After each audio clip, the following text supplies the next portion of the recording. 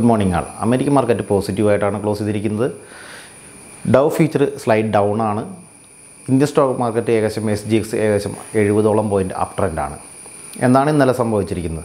പലപ്പോഴും നമ്മൾ ഫണ്ടമെന്റലായിക്കോട്ടെ ടെക്നിക്കലായിട്ട് നമ്മളെ മാർക്കറ്റിനെ കാണുമ്പോഴും ഫോറിൻ ഇൻവെസ്റ്റേഴ്സിന്റെ ബൈയിങ് വലിയൊരു പ്രധാനപ്പെട്ടതായിട്ട് നമ്മൾ കണക്കാക്കി പറയാറുണ്ട്. അപ്പോൾ ഇന്നലെ വളരെ പെട്ടെന്ന് ഫോറിൻ ഇൻവെസ്റ്റേഴ്സ് വാങ്ങിച്ചത് ഏഴായിരത്തി നാനൂറ്റി പതിനെട്ട് കോടിയുടെ ഫ്യൂച്ചറിന്റെ ഓപ്ഷനാണ് അവർ ബൈ എടുത്തത്.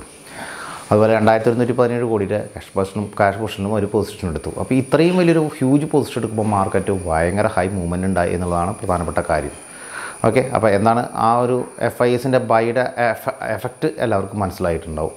രണ്ടാമത്തെ കേസ് എന്നുണ്ടെങ്കിൽ ഇന്നലെ വന്ന റിസൾട്ടുകളിൽ ഭാരതിയുടെ റിസൾട്ടും അതുപോലെ അഡാനിയുടെ റിസൾട്ടും നല്ല റിസൾട്ടുകൾ തന്നെയായിരുന്നു. ഇന്നിപ്പോൾ എസ് ബി ഐയുടെ result H P C L റിസൾട്ടും ടൈറ്റാൻ അപ്പോട്ടെ ഇതൊക്കെ ഇന്നത്തെ റിസൾട്ടുകളാണ് പ്രധാനമായിട്ടും എന്ന് പറയാനുള്ളത് ദേവയാനിയുടെ ഒരു ഇനീഷ്യൽ ഐ പി ഒ വരുന്നുണ്ട്. എല്ലാവരും അപ്ലൈ ചെയ്യുക. നല്ല നല്ലതായിരിക്കും. കിട്ടാൻ പ്രയാസമാണ്. എങ്കിൽ തന്നെ അപ്ലൈ ചെയ്യുന്നത് നല്ലതായിരിക്കും. കിട്ടിയില്ലെങ്കിൽ തന്നെ ഓപ്പണിംഗ് റേറ്റിന് വാങ്ങുന്നതും തെറ്റായിരിക്കില്ല എന്ന് കരുതുന്നു.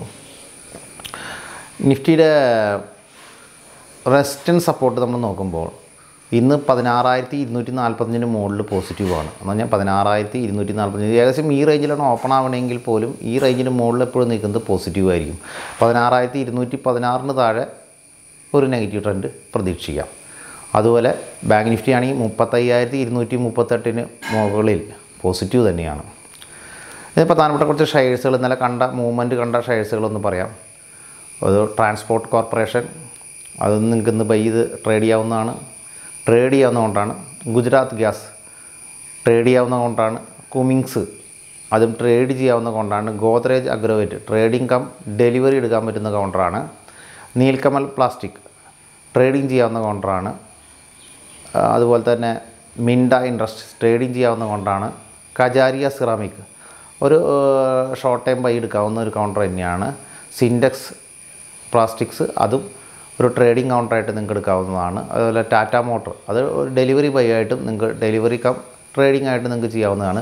ഡി വി സ്ലാബ് അതൊരു ഡെലിവറി ലോങ് ടൈം വയ്ക്കാവുന്ന കൗണ്ടറാണ് ഞാൻ പ്രത്യേകിച്ച് D V snap D V ഞാൻ ചെക്ക് ചെയ്തപ്പോൾ അത് ലോസിൽ നിന്ന് പ്രോഫിറ്റിലേക്ക് ഈ ഫാർമ കമ്പനി വന്നു എന്നുള്ളതാണ്. കുറേ കാലത്തിന് ശേഷം അങ്ങനെ ഫാർമ കമ്പനികളിൽ ചില പെർഫോമൻസ് കാണിച്ച കമ്പനിയാണ് ഡി വി സ്ലാബ് അപ്പോൾ ഡി വി സ്ലാബ് നമുക്ക് ലോങ് ടൈം ഒന്ന് കാണേണ്ടതാണ്.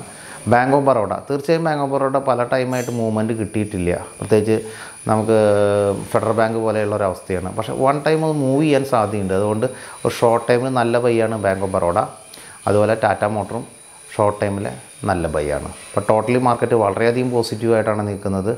അപ്പോൾ പ്രോഫിറ്റ് ബുക്കിംഗ് ഇതിന്റെ കൂടെ തന്നെ മാർക്കറ്റിൽ വന്നേക്കാമെങ്കിലും നല്ല ബൈയും അപ്പോൾ ഡിപ്പിൽ നല്ല ബൈ ഓപ്പർച്യൂണിറ്റീസ് വരുമ്പോൾ നമ്മളെല്ലാവരും ബൈ ചെയ്യുക.